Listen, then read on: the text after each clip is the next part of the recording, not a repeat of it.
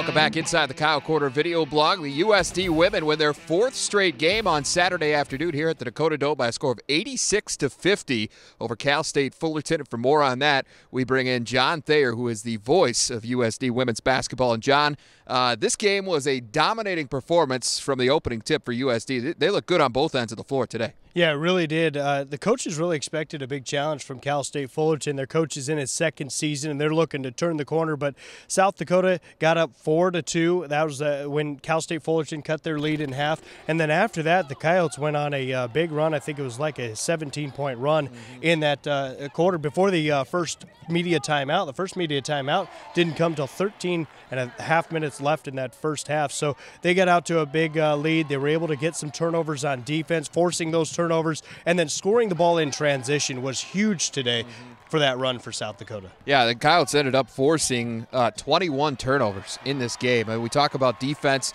Uh, Amy Williams has harped on that. They've they've put a, a big uh, emphasis on that coming into the season, and uh, she wouldn't admit it.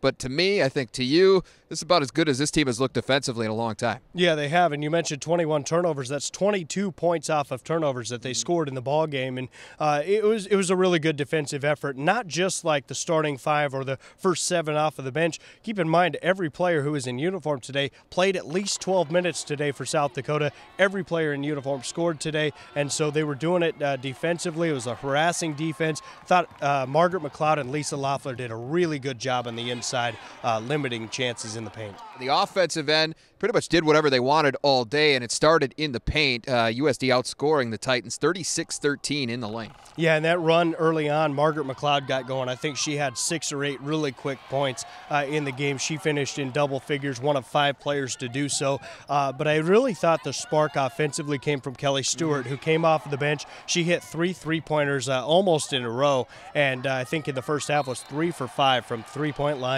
and really was that spark. And then late in the game, Rachel Contreras got going again. She ends up in double figures th- uh, this afternoon, and uh, she has now scored the only player on this team to score in double figures in every game this season. I thought one area maybe that the Coyotes struggled a little bit today was they didn't really dominate the boards. They were out rebounded today. I think it's only the second time this season they've been out rebounded by the opponent uh, and finished with under 30 turnovers in the game. I think it's 29, uh, or I'm not. I mean rebounds in the game, 29, and so they didn't really dominate the boards. They gave up too many second chance points for Cal State Fullerton, but that big lead, uh, yeah. they, they were able to grow that. It was 30 at one point. I think the largest they had in the ball game was a 40 point lead, and of course they finish it up 86-50. Yeah, they could afford uh, that that yeah. little bit of a, a, lackadaisical. I don't want to call it lackadaisical because it's not like they weren't working hard, but uh, just not what we've become used to seeing out of this team. They're usually very very good on the glass. Uh, gave up 12 offensive rebounds that led to a lot of those second chance points for Cal State Fullerton uh, in this one, but it didn't matter. Coyotes roll 86 to 50. Their four straight win. They go to six and two on the season.